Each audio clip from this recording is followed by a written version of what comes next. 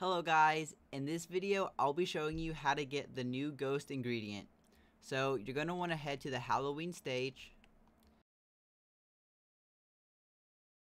Be sure to talk to the Ghostbuster NPC. And when you talk to him, he's going to ask you some messages. Click how do I kill ghost. And he'll give you a new ingredient. Then teleport back to your cauldron with that ingredient.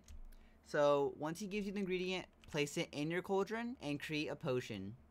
So this potion is going to allow you to see ghost. So there's a ghost over here. I can now see it. I'm going to go to it.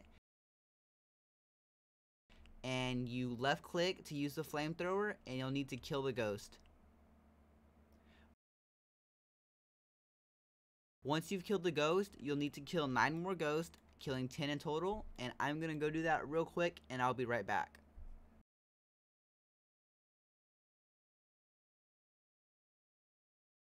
I just finished killing my last ghost.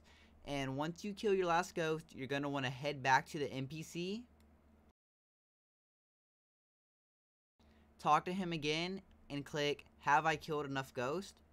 So once you do that, he's going to give you the new ingredient. Just teleport back to your cauldron and drop it right on in. Once you've done that, you now have the new ghost ingredient. And if this video helped you, be sure to leave a like and subscribe. And if you'd like to join my VIP server, I will be leaving a link in the pinned comment. And with that being said, peace. Bye.